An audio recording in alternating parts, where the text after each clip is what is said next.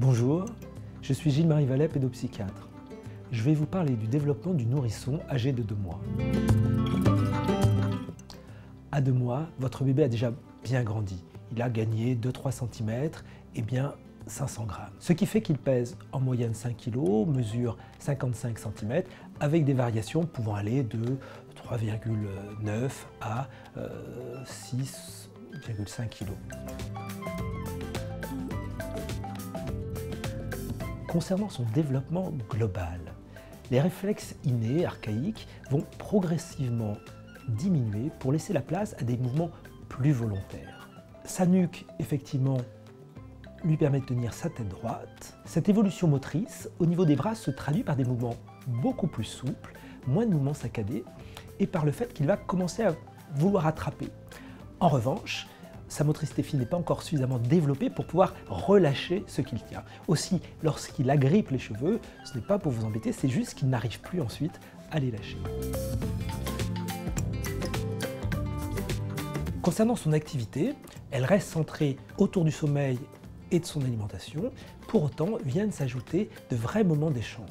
L'alimentation est encore exclusivement constituée de lait. Pour autant, les tétés commencent à s'espacer entre 5 et 6 tétés par jour. À deux mois, euh, les bébés ne font pas encore leur nuit.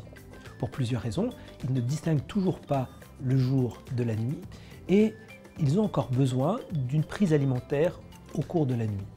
Pour autant, leur cycle de sommeil commence à s'allonger et on peut déjà distinguer certaines particularités avec des enfants qui peuvent se présenter comme des gros dormeurs ou d'autres au contraire comme des petits dormeurs.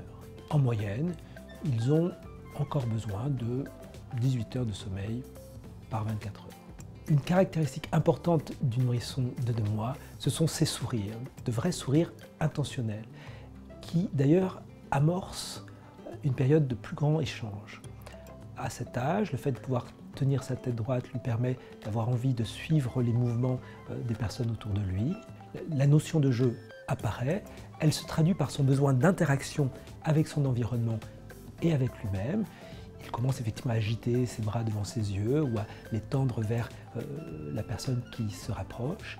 Et ces interactions sont vraiment source de distraction et de plaisir. Pour autant, il n'a pas encore la perception d'être un individu à part entière. Cela est lié en partie par le fait qu'il se sent encore très fusionnel avec euh, sa maman ou le parent qui s'en occupe euh, de façon privilégiée. Ce n'est que progressivement qu'il va prendre conscience effectivement euh, que les individus sont extérieurs à lui-même. Une évolution importante est l'apparition de son langage. Votre bébé se met à gazouiller, c'est-à-dire qu'il va émettre des sons, essentiellement des voyelles, des A, des E, en réaction à votre propre voix ou aux interactions que vous allez initier avec lui. Avec votre nourrisson de deux mois, vous allez vraiment pouvoir avoir de vrais moments d'échange, alternant les moments où vous allez le solliciter et les réponses qu'il va vous proposer en gazouillant ou en agitant ses bras. Concernant les outils qui lui permettent de découvrir le monde, il a bien sûr toujours euh, le goût, l'audition, euh, l'olfaction. Pour autant, sa vision s'améliore et il commence à distinguer notamment les visages, à voir de façon plus nette lorsque les objets sont suffisamment proches euh, de son regard, à, moins de 60 cm environ. À deux mois donc, votre bébé commence à affirmer sa personnalité et même si pleurer reste son moyen privilégié pour euh, vous solliciter pour combler ses besoins, il peut aussi davantage manifester son besoin de câlin et d'interaction. J'espère que cette vidéo vous a été utile et à bientôt sur Doctissimo Maman.